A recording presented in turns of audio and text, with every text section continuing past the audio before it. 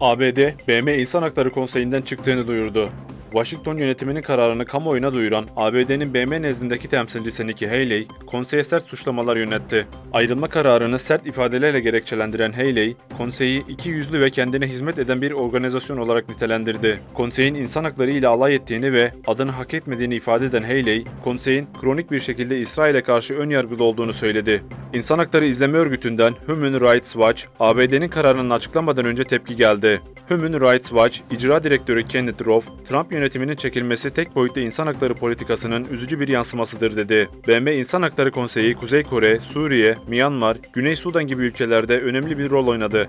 Ancak Trump sadece İsrail savunmayı önemsiyor gibi görünüyor diye konuştu.